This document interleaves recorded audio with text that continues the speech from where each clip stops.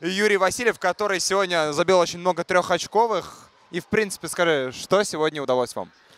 Ну, нам удалось, показать свою игру. Э, мы э, забили те броски, которые должны были забивать. Ну и ключевым фактором стала защита, потому что мы э, не дали забить мячи, которые обычно забивает соперник.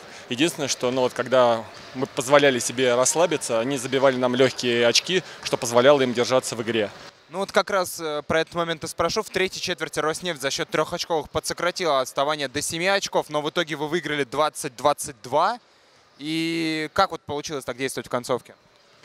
Ну, я еще раз повторю, мы дали им забить несколько легких трехочковых бросок, причем ну, от нашей невнимательности, скажем так, что позволило сопернику ну, вернуться в игру и попытаться нам навязать борьбу. Но потом как бы мы стали играть жестче и, исключив легкие трехочковые броски, мы довели дело до победы.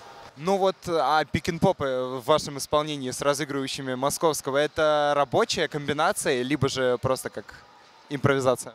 Э, нет, это рабочая комбинация. Как у нас, в принципе, все могут забить трехочковый, но сегодня вот такой день получился, что забил я. Спасибо, спасибо. Юрий Васильев, поздравляем с победой.